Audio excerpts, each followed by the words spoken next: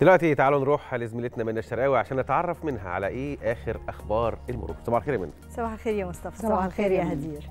خلينا مشاهدينا نستعرض معاكم جولة سريعة في أحوال المرور النهاردة ونبتدي مع شوارع القاهرة والمحافظات. عايزة بس أقول الناس طبعا ابتدت تنزل وناخد بالنا إن في ظهور في تباطؤ حركة المركبات وكثافات متحركة للمركبات هنلاقيها بشتى أنواعها وده بالتزامن مع توجه المواطنين والعمال لأماكن شغلهم.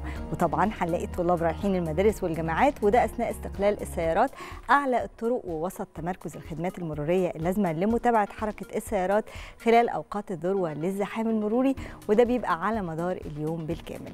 خلينا يلا على طول نبتدي جولتنا مع بعض من القاهرة وتحديدا من كوبري أكتوبر ونشوف مع بعض المتجه لمناطق رمسيس وغمرة. هنلاقي فيه سيولة مرورية أما اللي هيكمل أعلى الكوبري في اتجاه العباسية هنلاقي كثافات بسيطة.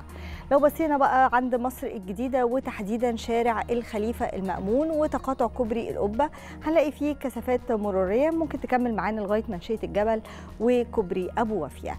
ونفضل ماشيين ونوصل لغاية كوبري تحيا مصر اللي إحنا شايفين فيه سيولة مرورية تامة. لو بصينا على الكورنيش هنلاقي بعض الكثافات غير المؤثرة اجمالا. لو بصينا على المنطقة دي ما عندناش فيها مشاكل. لو تابعنا بقى شارع صلاح سالم هنلاقي فيه سيولة مرورية كبيرة وهنفضل ماشيين لغاية ما بنوصل لنفق الملك الصالح. إحنا شايفين كثافات مرورية نسبيه في الوقت الحالي. ولو كملنا لغاية كوبري الروضه برضو هنلاقي بعض الكثافات.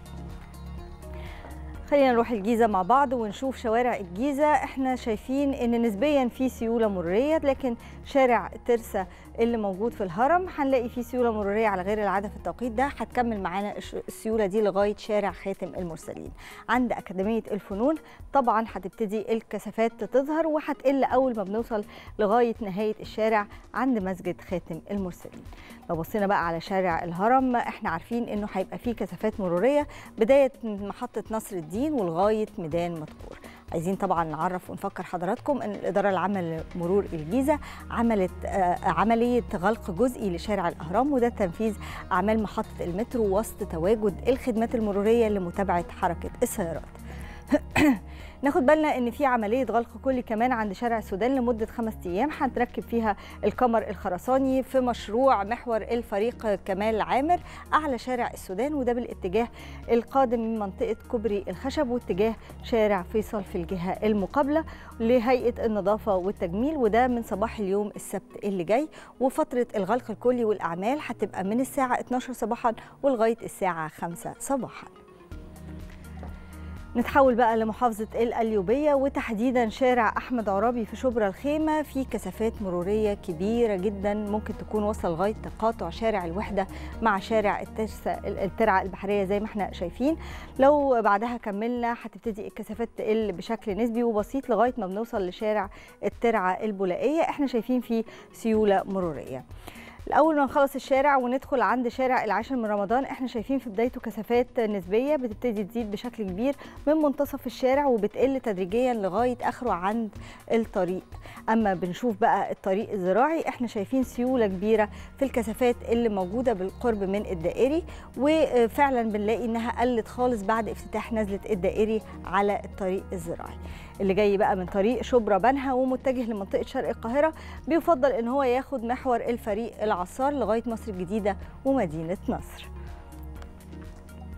إحنا لسه مكملين معاكم. ودلوقتي وصلنا بورسعيد وتحديدا شارع اجنا هنلاقي هناك سيوله طبعا زي ما إحنا شايفين مرورية كبيرة. لو كملنا لغاية شارع جمال عبد الناصر إحنا شايفين كثافات نسبية بسيطة هتقل لغاية ما بنوصل لشارع 23 يوليو.